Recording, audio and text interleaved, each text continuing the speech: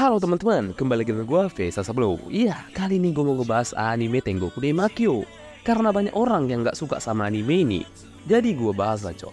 Intinya teman-teman, bagi kalian yang belum nonton anime ini sama sekali Dan berharap ingin nonton anime ini Cuman dihentikan oleh orang-orang biadab yang ngomong anime ini gak bagus Dan orang yang suka nonton anime ini dibilang psikopat Atau semacamnya.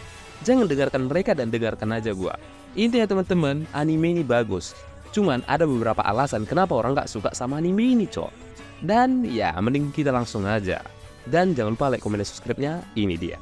Pertama, anime Tengoku Demakyo itu anime bertemakan apokalips. Jadi kalian para penonton jangan berpikir kalau ini anime. Bakal adem-adem aja jalan ceritanya. Kayak anime Isekai sebelah, oke teman-teman? Kedua, anime ini memiliki rating 17 tahun ke atas, jadi kalau animenya menampilkan scan seksual atau kekerasan yang berlebihan, ya wajar. Jadi jangan bilangin orang yang suka sama anime ini psikopat, cok, ngerti?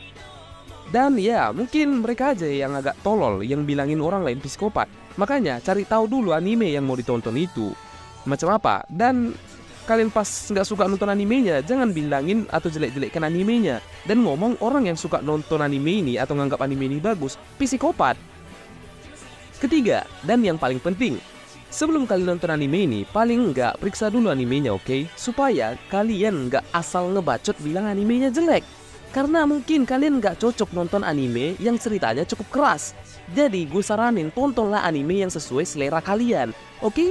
Supaya di sini otak kalian aman dan nggak perlu ngejelek-jelekkan orang lain karena suka sama anime yang menurut orang lain jelek. Mungkin itu aja yang mau gue sampaikan di video ini share kepada teman-teman wibu kita di luar sana, oke? Okay? Supaya mereka tahu dan mulai berpikir dengan baik.